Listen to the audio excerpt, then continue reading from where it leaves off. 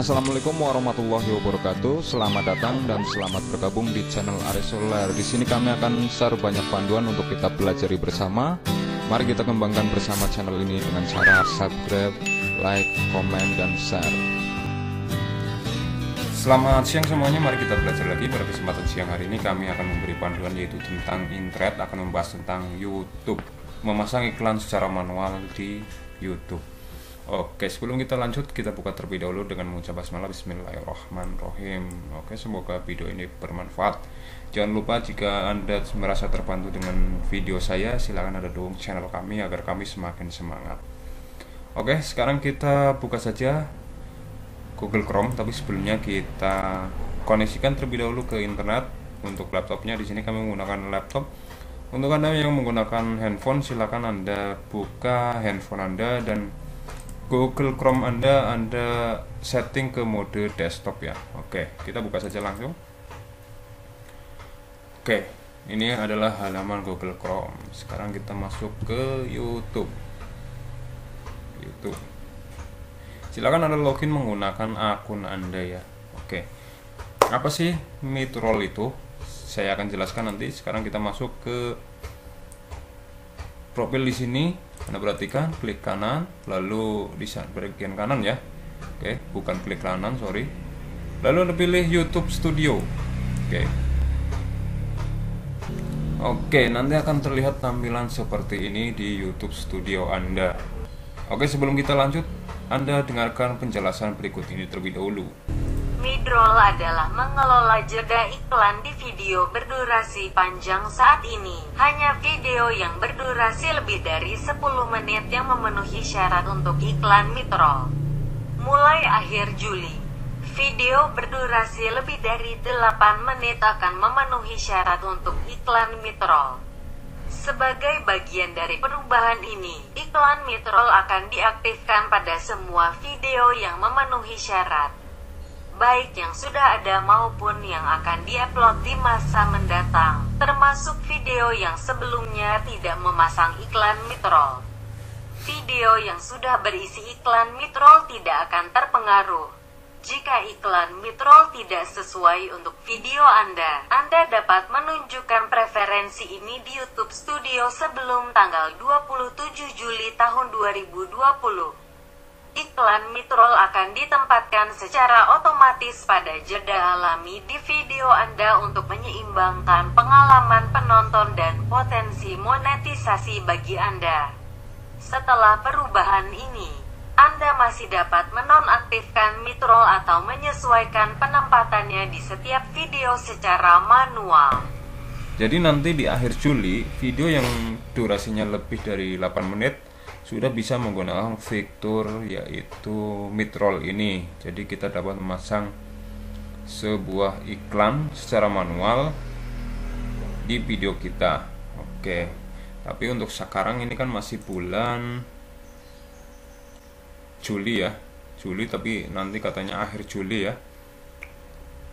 Itu video yang berdurasi kurang dari 8 menit atau kurang dari 10 menit itu belum bisa tapi kalau durasinya 10 menit sudah bisa. Oke sekarang kita tes kita masuk ke video. Oke saya tes dengan video yang durasinya 8 menit lebih ya. Saya kayak akan pasang midroll coba. Oke anda perhatikan. Lalu pilih monetisasi di samping sini. Apakah bisa? Nah di sini bisa anda lihat. Ini terlock terkunci jadi saya tidak bisa memasang iklan secara manual pada video yang durasinya cuma 8 menit. Ini hampir 9 menit ya. Oke kurang 5 menit saja 5 detik saja sampai 9 menit. Oke jadi nggak bisa untuk video yang berdurasi kurang dari 10 menit. Oke sesuai keterangan nanti akhir Juli baru bisa. Sekarang saya akan cari video yang durasinya lebih dari 10 menit yang belum saya pasang mid roll ya oke mana ini oke saya akan coba yang ini ya membuat kode voucher oke sunting di sini detail oke sekarang Anda masuk ke sini seperti tadi. Anda pilih pada bagian monetisasi. Anda scroll ke bawah. Nah, di sini pada bagian selama video diputar midroll ini bisa ya. Oke, kita tandain di sini. Tandain. Lalu Anda pilih kelola midroll untuk kita mengelola sebuah iklan. Klik saja. Oke. Nah, di sini ada pilihan tempatkan otomatis. Ini ya. Kita dapat menempatkan otomatis, Anda klik saja seperti ini. Klik lalu pilih ubah, nanti akan ditempatkan secara otomatis di mana tempatnya. Saya akan menempatkan secara manual saja. Oke, saya akan tempatkan di mana ini. Kita pilih dulu lokasinya di mana. Oke, langsung saja bagaimana cara membuat kode voucher menggunakan Winbox. Oke. Saya akan cari Kita di sini. klik ikon plus juga di sini. Kita klik klik oke nanti terbuka kotak dialog seperti ini nah oke saya akan tempatkan di sini baru. Jika anda sudah menempatkan di sini ya langsung anda nah, klik jeda iklan nah, seperti ini. nanti akan tampilannya seperti ini. Dialog seperti di sini lihat. Nah. Nah oke. Okay. nanti klik dulu. servernya. Bukan server pilih hotspot.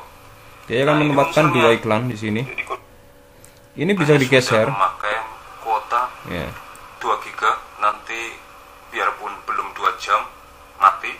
Jadi kuotanya sudah habis. Anda bisa batasi di sini oke untuk membatasi sebuah kuota.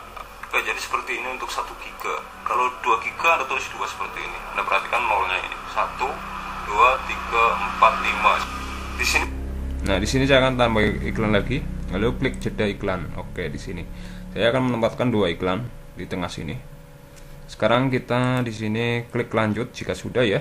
Klik lanjut di posisi 6 menit 1 detik dan 8 menit 38 detik. Ini posisi iklan. Sekarang klik lanjut. Oke lalu klik simpan. Oke. Oke di sini kita tandin lagi nggak apa-apa. Jadi setelah video terselesai nanti ada iklan lagi. Klik simpan. Oke, jadi seperti itu cara memasang iklan secara manual di video YouTube kita ya. Kita menggunakan vektor mid roll, oke? Oke, seperti itu saja buat Anda yang mau mencoba selamat mencoba. Untuk panduan lainnya tentang YouTube, silakan Anda tonton saja di channel kami. Kami sudah membahas secara detail ya. Jadi cara mengembangkan channel YouTube sampai kita mendapatkan uang dari YouTube. Oke sampai di sini saja semoga bermanfaat wabillahi taufiq assalamualaikum warahmatullahi wabarakatuh